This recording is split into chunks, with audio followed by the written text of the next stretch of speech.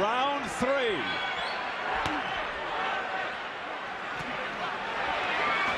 Holyfield also showing more hand speed.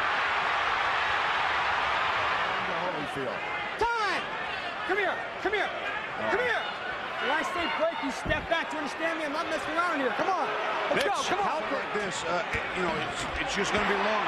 Holding every time they get close, and they get close a lot. Because Evander's not retreating. He's not running. He's the tail end of my honeymoon. in November 8th. This will be a real attrition battle. Holyfield just won't let Tyson unleash as he hangs on to him on the inside. We approach the final 10 seconds of round number three. As Holyfield looks to counterpunch off the swinging miss by Tyson. And Bobby, that's what you were talking about. Holyfield's got to take of that.